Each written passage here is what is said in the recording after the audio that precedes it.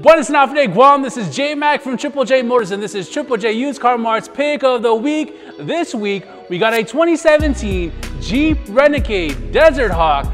Let's get down to the details.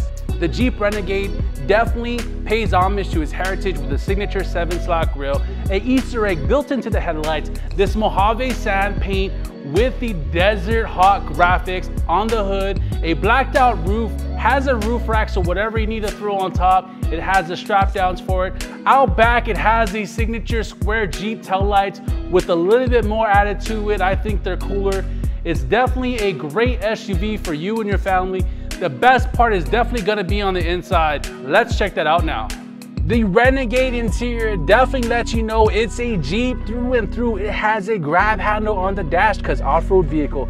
Deserthawk stitch into the leather seats, comfortable seating for five, Bluetooth backup camera, aux cord, USB. It's got all that good stuff.